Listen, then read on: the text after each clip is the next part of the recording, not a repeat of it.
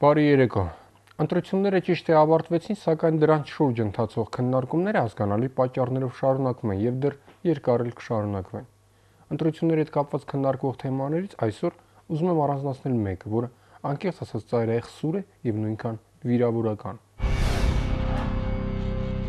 Խոսքը քաղաքական որոշ գործիչների կողմից ընտրողին նվաստացնելու վերջին այս երկու օրվա փորձերի մասին է։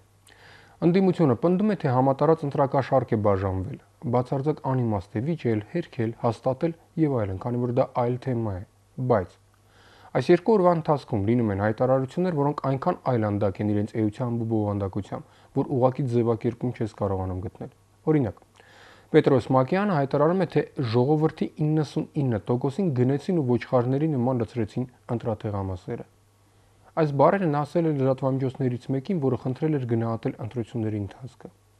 Իհարկե, երևույթը, երբ տեղից վեր կացողը խոսում է ամբողջ ժողովրդի անունից, բոլորովին էլ նոր չէ։ Այս երևույթի բարոյական կողմը քննարկելու բան էլ չէ, քանի որ մեր քաղաքական գործիչներից շատ ու շատերի параգամ բարոյականության մասին նույնիսկ ծպտուն հանելն է հոգեկան խանգարման վկայություն։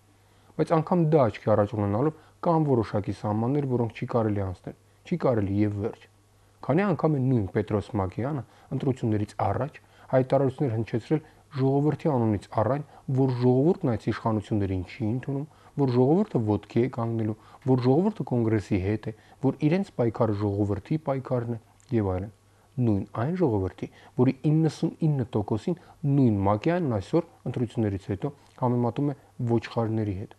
Արդյոք մարդիկ ընդհանրապես կարողանում են գնահատել իրենց ասացի քաշը Արդյոք նրանք պատրաստ են ստորագրել իրենց ասացի տակ, որ ժողովրդի 99%-ին ոչխարների նման տարել լցրել են ընտրատեղամասերը։ Թե հանկարծ կարող է պատահել այնպես, որ վաղը հասկանալով, որ իրենց ասածը վիրավորանք է մի ամբողջ ժողովրդի հասցեին, սկսեն արդարանալ, թե գիտեք լրագրողն է մի քիչ սխալ հասկացել, ես էի մի քիչ ներվայնացած, ճնշումս էր բարձրացելու վերևին 180 էր, իսկ տակին 120 եւ այլն։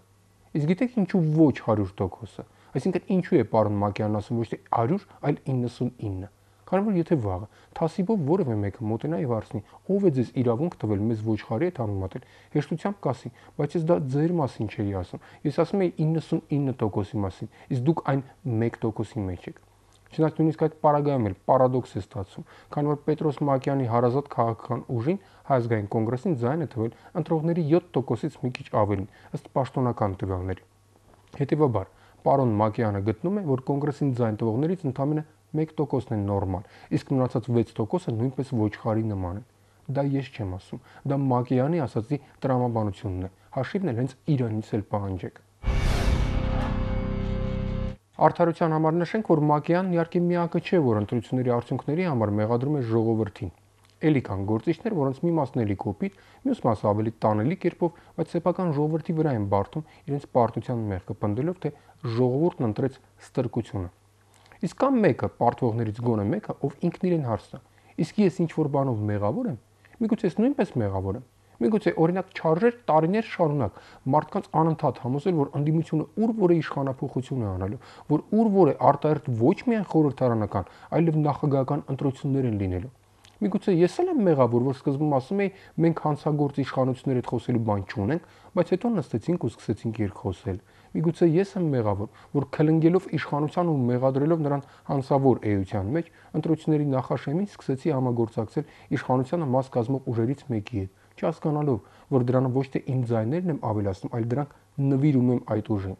Եվ միգուցե այդ ամբողջի պատճառով էր, որ ընտրությունների ինտրիգը նորանկախ հանրապետության ամբողջ պատմության մեջ առաջին անգամ ուշադրություն դարձրեք կայանում էր ոչ թե նրանում, թե քանի տոկոս է տանալու իշխանությունը, քանի տոկոս ընդդիմությունը, այլ քանի տոկոս է տանելու կոալիցիոն մի կուսակցությունը, հանրապետականը, եւ քանի տոկոս կոալիցիոն մյուս կուսակցությունը, բարգավաճը։ Իսկ ընդդիմության մասին շատ քիչերն էին խոսում։ Ավելի པարզ, ընդդիմության մասով ինտրիգ գրեթե չկար։ Ու եթե այդքան սրտնեղած եք կաշառվածներից, արդյոք կարող եք կանգնել, ուղիղ նայել ձեր համախոհների աչքերին ու տղամարդու խոսք տալ, որ որևէ այլ ուժ ձեր տեխնացուի համար որևէ մեծամասնական ընտրատարածքում ընտրողներին փող չի տվել։ Ասածից ռեզյումեն Շատ հեշտ է սեփական անհաջողությունների համար մեղադրել բոլորին սեփական մեղքի բաժինը չտեսնելու տալով, բայց դա ինքնախապեյություն է։ Ու երբ Պետրոս Մակյանին լրագրողը հարցնում է, թե արդյոք նա բողոքարկելու է ընտրությունների արդյունքները, նա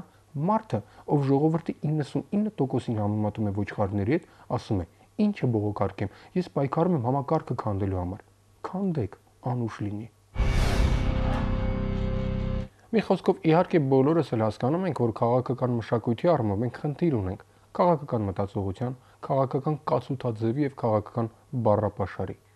Բայց նույնիսկ այդ դեպքում էլ կան բաներ, որոնք այն նվազագույն շեմն են, որից չի կարելի անցնել։ Առողջ եղեք։